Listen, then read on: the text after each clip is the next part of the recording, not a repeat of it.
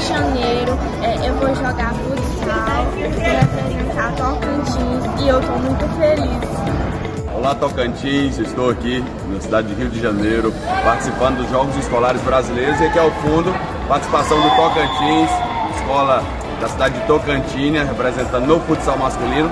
Mas nós, durante o dia 1 de novembro até o dia 15, nós teremos atletas, mais de 200 atletas tocantinenses participando de 16 modalidades, representando o nosso estado e também levando medalhas. Nossa expectativa é muito grande.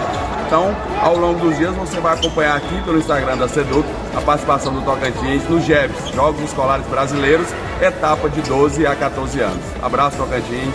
Boa sorte aos nossos atletas.